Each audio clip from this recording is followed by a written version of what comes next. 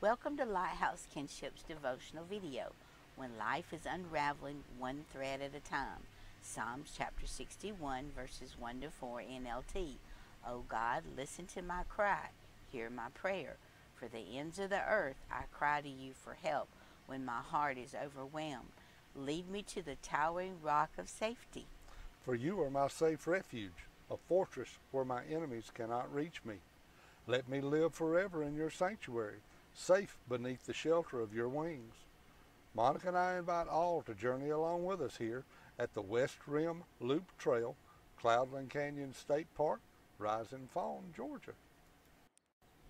My mother was an amazing seamstress.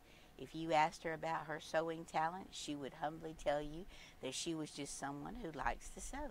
She was just average. However, to me and others that saw the dresses she sewed for me, especially my wedding dress, my mother was a talented seamstress. Mother knew exactly how to make the thread unravel with just one snip to the thread in the hem. For me to make that one snip, those were my most frustrating moments. I watched my mother not only snip the thread to unravel the hem in my dresses, but I paid close attention to her navigating our lives when life was unraveling one thread at a time. I learned early in my life what soul wrenching grief was, and that grief had many faces. Ruth 1, verses 1 to 3 NLT. In the days when the judges ruled in Israel, a severe famine came upon the land. So a man from Bethlehem in Judah left his home and went to live in the country of Moab taking his wife and two sons with him. The man's name was Elimelech, and his wife was Naomi. Their two sons were Mahlon and Chilion. They were Ephrathites from Bethlehem in the land of Judah. And when they reached Moab, they settled there. Then Elimelech died, and Naomi was left with her two sons. I am the youngest of three children, one older sister and one older brother.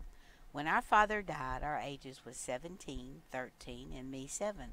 My father's death was the snip of the thread that created the unraveling of our lives. However, I learned as I watched my mother moment by moment, day by day, week by week, month by month, and year by year, to place all the unraveled threads of our lives into God's loving, caring hands and heart, and faithfully trust in His promises because he will take all the unraveled threads and create an amazing wardrobe for our lives. Psalm 119, verse 28, Amplified. My soul dissolves because of grief. Renew and strengthen me according to the promises of your word.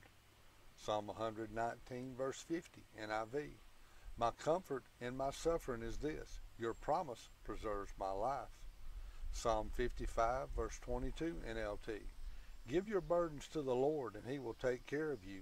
He will not permit the godly to slip and fall. This concludes our devotional video of Lighthouse Kinship, when life is unraveling one thread at a time. 7.35 a.m. Christmas morning 2003.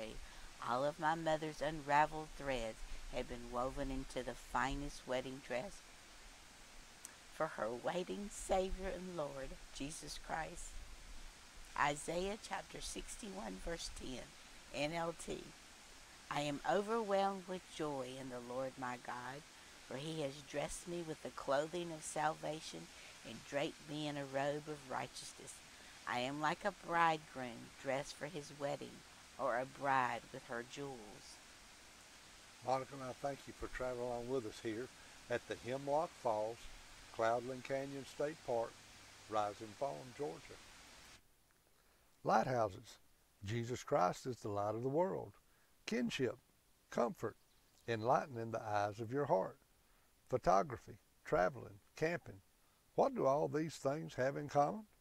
Monica and I excitedly invite all to journey with us not only through YouTube, but by personal appearance, church, Sunday school class, small group, church social, other activities where the Word of God is shared, as we share the challenges, blessings, and adversities through the lens of the camera and God's divine word.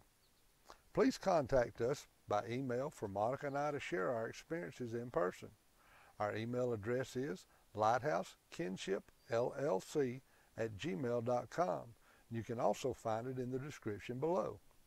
Please like and subscribe to our videos and help us to spread the gospel by sharing these videos on your social media platforms.